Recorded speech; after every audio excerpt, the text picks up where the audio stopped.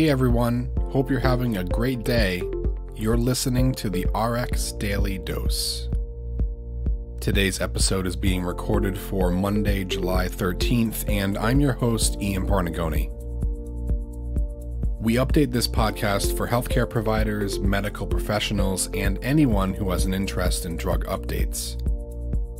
Don't forget to like, share, and subscribe on all your favorite podcast platforms and social media including iTunes, Spotify, YouTube, and Instagram.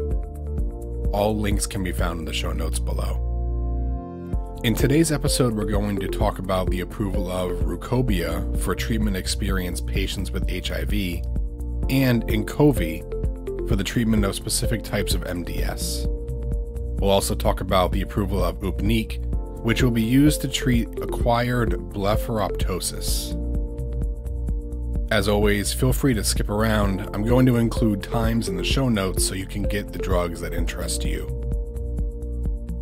First up, the FDA approved Fostemsavir, which goes by brand name Rukobia, a new treatment type of antiretroviral medication for adults living with HIV who have tried multiple HIV medications and whose HIV infection cannot be successfully treated with other therapies because of resistance, intolerance, or safety considerations.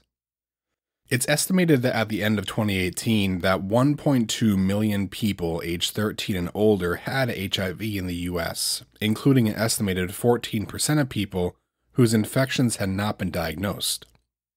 Heavily treatment experienced patients that would qualify for treatment with Rukobia account for only about 6% of the entire HIV population on medication. That's approximately 60,000 individuals. Rukobia is the first in a new class of products called attachment inhibitors for the treatment of HIV.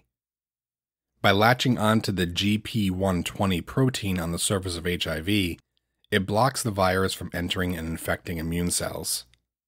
It is taken as an extended release tablet twice daily in combination with other antiretrovirals.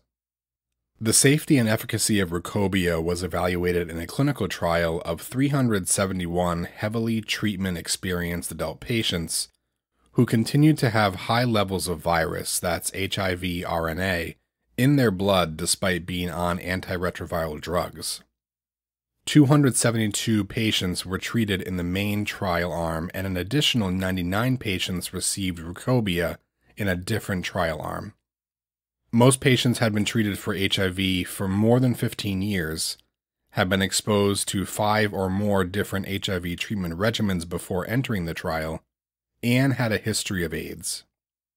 Participants in the main cohort of the trial received either Rukobia or a placebo twice daily for eight days, in addition to their failing antiretroviral regimen. On the eighth day, Participants treated with Rukobia had a significantly greater decrease in levels of HIV RNA in their blood compared to those taking the placebo. After the eighth day, all participants received Rukobia with other antiretroviral drugs. After 24 weeks of Rukobia plus other antiretroviral drugs, 53% of participants achieved HIV RNA suppression, where levels of HIV were low enough to be considered undetectable. After 96 weeks, 60% of participants continued to have HIV RNA suppression. The most common adverse reaction to Rukobia was nausea.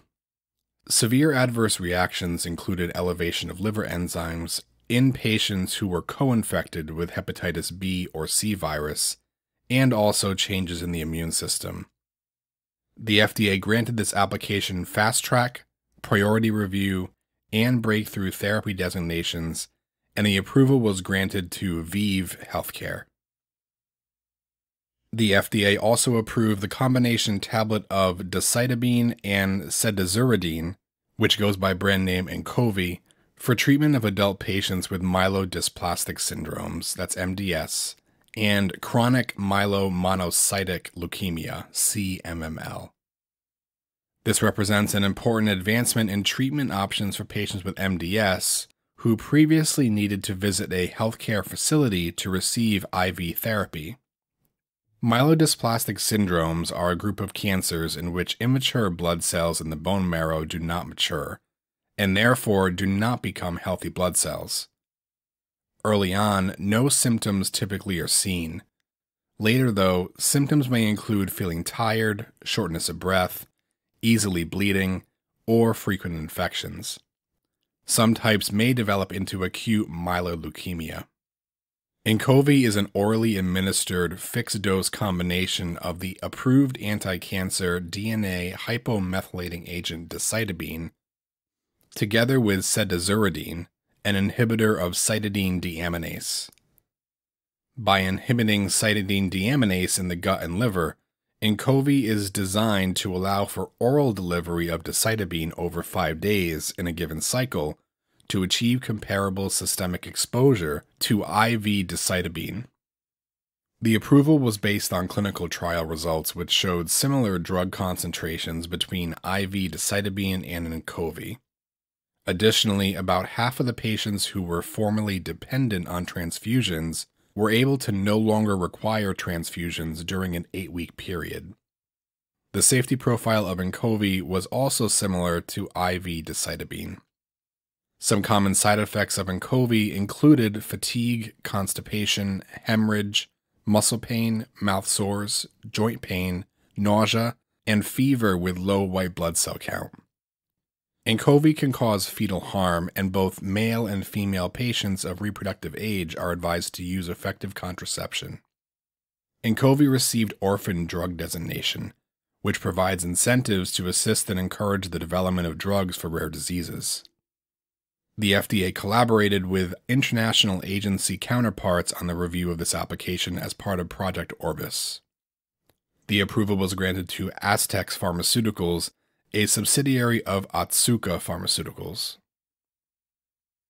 The FDA also approved a new oxymetazoline ophthalmic solution, which goes by brand name Upneeq, for the treatment of acquired blepharoptosis in adults.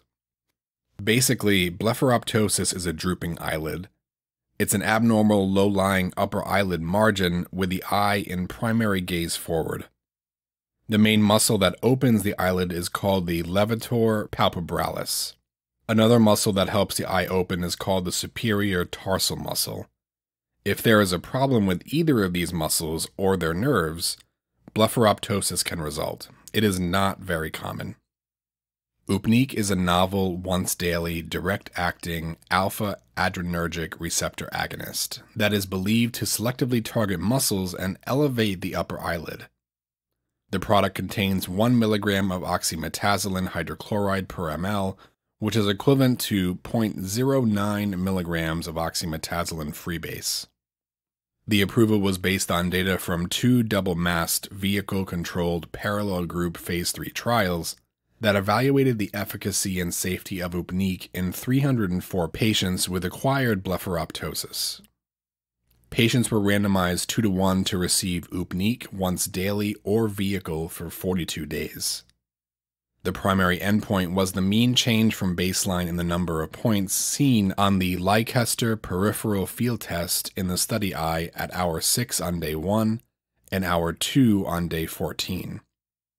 A secondary endpoint included the change from baseline in marginal reflex distance. In both studies, improvement in superior visual field was observed with Upneeq at the 2 hour time point and maintained at the 6 hour time point. Results from Trial 1 showed that Upneeq met the primary endpoint of improvement at hour 6 on day 1 and at hour 2 on day 14 versus vehicle.